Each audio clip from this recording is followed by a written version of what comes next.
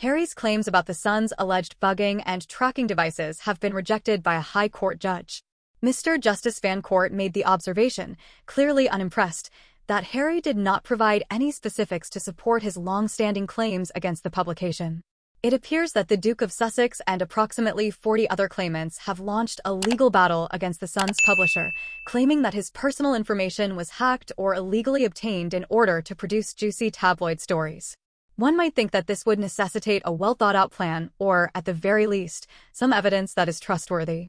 However, as things stand, Harry's legal story is more fiction than fact, and his most recent details of claim only offer hazy allegations that even a half-baked detective would dismiss.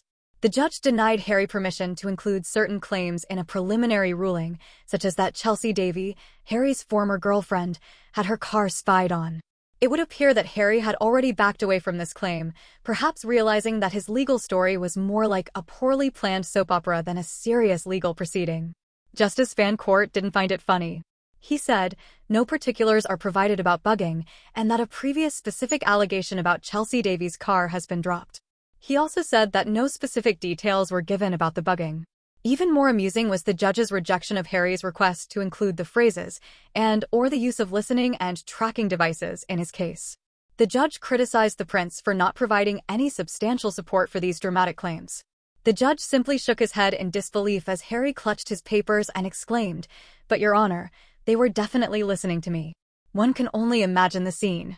Harry's ambitions in the legal field have been harmed before. The prince's claims of phone hacking were dismissed by Justice Fancourt last year because the court found that the prince had waited far too long to start his legal battle. The judge called Harry's claim that he had been prevented from coming forward sooner by an alleged secret agreement with Buckingham Palace implausible. It almost seems as though Harry believes that because he is a king, the rules don't apply to him. Justice Fancourt has even compared Harry's case to a prolonged conflict between two belligerent but well-equipped armies. This description makes one chuckle without a doubt.